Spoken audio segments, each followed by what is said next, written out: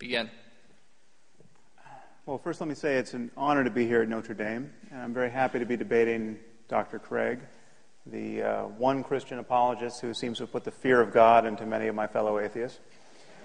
Uh, I've actually gotten more than a few emails this week that more or less read, Brother, please don't blow this.